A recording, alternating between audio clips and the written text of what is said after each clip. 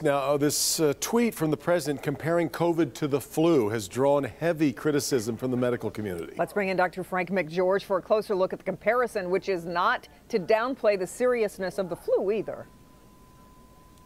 No, not at all. You know, I completely understand the instinct to compare COVID to influenza. Whenever we're faced with anything new and uncertain like COVID, there is a natural tendency to comfort ourselves by comparisons to something that we are familiar with. And it is true that many of the hallmark symptoms are the same fever, cough, body aches. But after that, comparisons break down. Let's simply start with the president's estimate that the flu kills sometimes over 100,000. In the past 10 years, the highest influenza death toll was estimated at 61,000 in the 2017 to 2018 season to as low as 12,000 in the 2011 to 2012 season.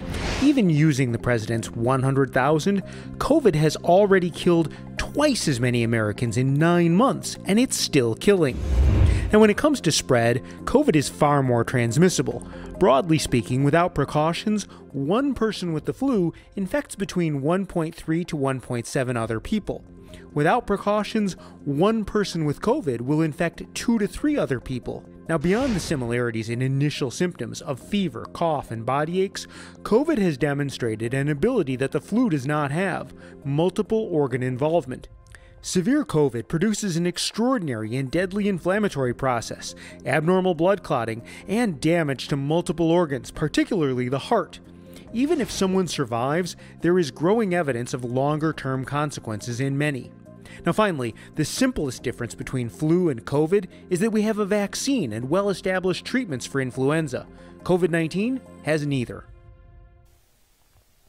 Now, I'm really happy the president seems to be improving, but the fact is, Many other people his age have not been so fortunate. COVID is simply not influenza.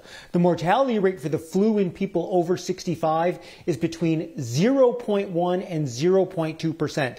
The case fatality rate for COVID in people aged 70 to 79 in Michigan, it's 18%. I've taken care of some of those people, and suggesting that it's just like the flu to them is an insult to the memory of those who have already died. So, Dr. McGeorge, tell us uh, what you're working on for Wellness Wednesday. That's tomorrow at 6:30. Yeah, I'll be taking a closer look at one of the red flags for COVID 19. That's the loss of smell and taste.